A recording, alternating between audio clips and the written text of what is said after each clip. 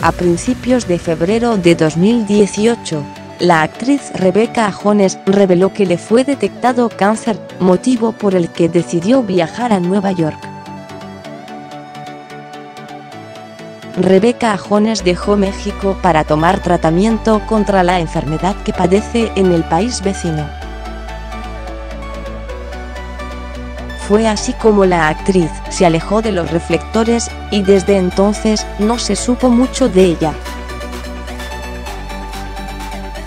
Sin embargo, recientemente reapareció y dio una breve entrevista a Ventaneando. Rebecca Jones declaró que se siente bien de salud, pero no lo suficiente para hablar de ello públicamente.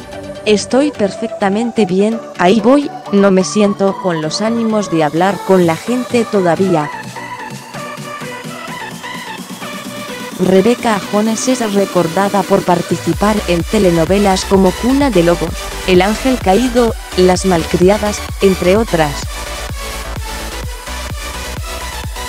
En una entrevista anterior, Rebeca Jones contó que al regresar de Guadalajara tras presentarse en la obra de teatro Dios mío, hazme viuda por favor, se sintió mal, por lo que le hicieron unos estudios y le detectaron un tumor en el ovario izquierdo.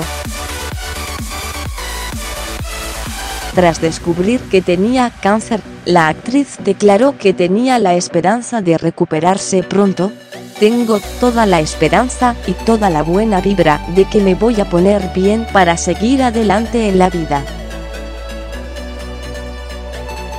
Rebecca Jones de 61 años es hija de padre estadounidense y madre mexicana.